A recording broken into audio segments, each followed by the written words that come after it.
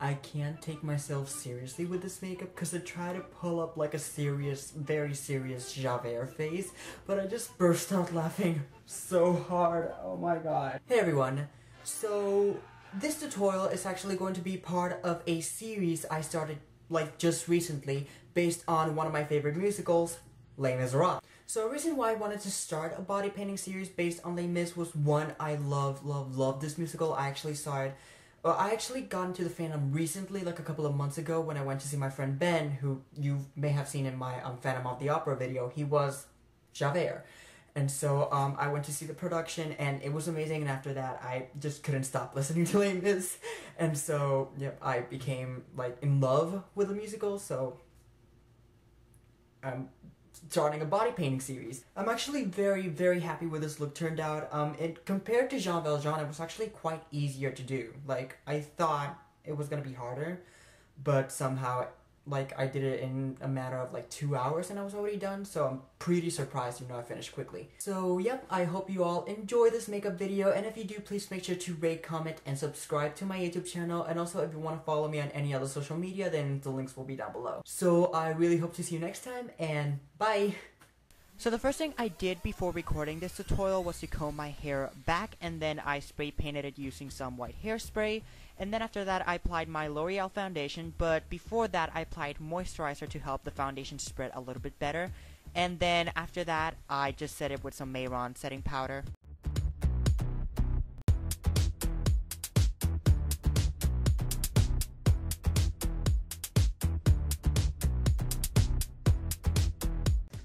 Okay, so we're gonna start off with the contouring now, and one thing that I wanted to explain is that um, it's gonna be fairly similar to how I did my Jean Valjean old age makeup, but it's gonna be a little bit different at the same time because um, according to the reference pictures that I've seen from Les Mis, um, Javert actually looks a lot younger and sinister, like a lot more sinister than Jean Valjean. So I'm going to basically do so basically what I'm gonna do is that I'm going to contour my face and I'm gonna make a lot of the features look a lot more exaggerated and like darker and a little bit more e I really don't want to say evil because he's not like evil but he's not like the best character.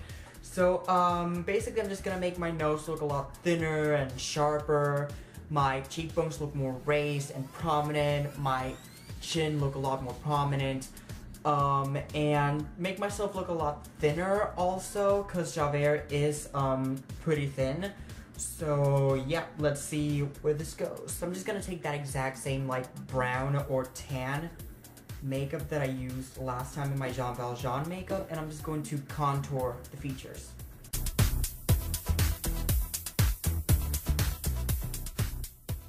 Whenever you're contouring, you want to make sure that at first when you use the brush, you want to dab the makeup with your finger after you're done applying it so that it would blend better into your skin and it would look a lot more natural.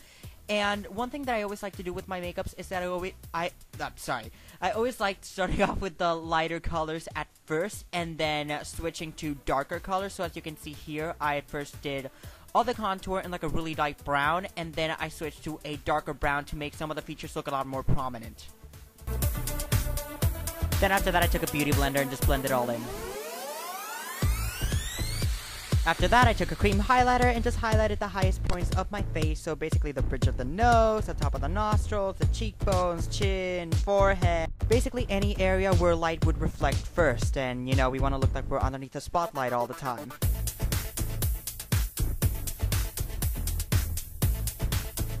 Okay, so I already applied my Javert sideburns or whatever you call them.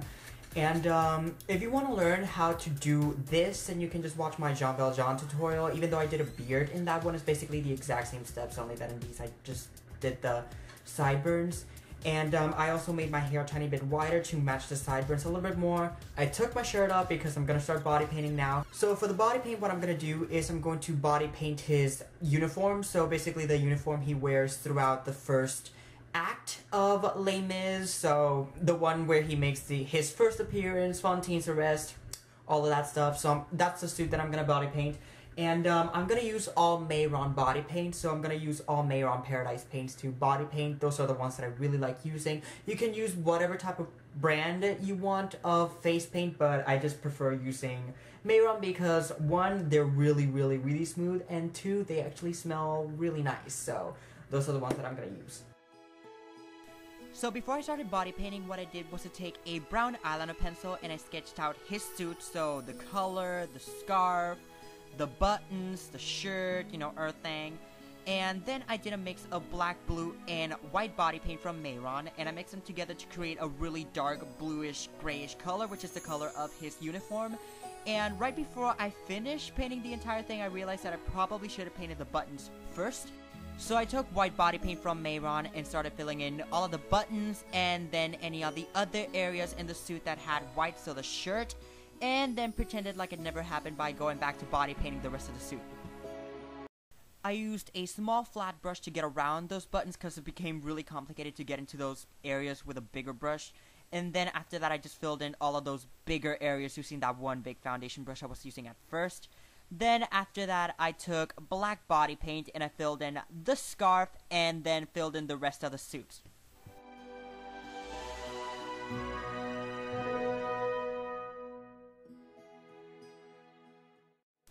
Dance break, very important. Do not forget this step.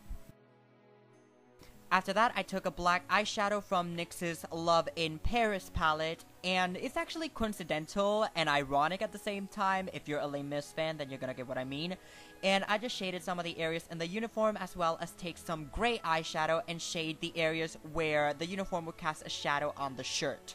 Then I took some really light gray body paint and I did all of the wrinkles that would be in the scarf and at the same time I made the scarf look like it's tied together.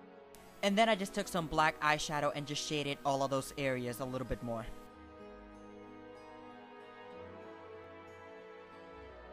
After that, I just took some black eyeshadow and created the shadow that would be casted by the fold of the color. And then I took white body paint and added a highlight on top of the color and then blended that out. To make things pop a little bit more, I usually add highlights to the edges of the cloth, as you can see me here, and I blend those out using either brushes or my fingers so that they wouldn't be so harsh. And in here, I was highlighting that one big area right there, but it becomes totally irrelevant because I'm doing something different in that part later.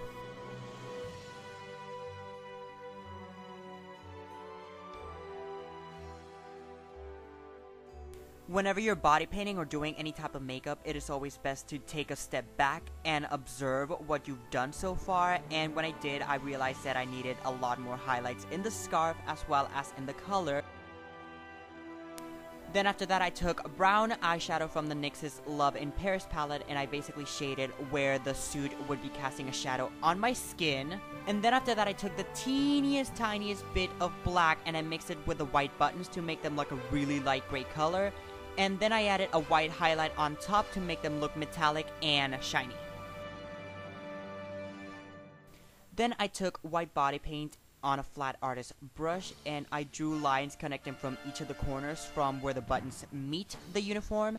And then after that I took white body paint on a flat artist brush and uh, I just created the wrinkles that would be on the suit. And for that, what I did was that I did some brush strokes using the white body paint, and then I blended those out using a bigger brush. And then I created the shadows that would be casted by those wrinkles using black eyeshadow. And after all of this, you are basically done with this makeup.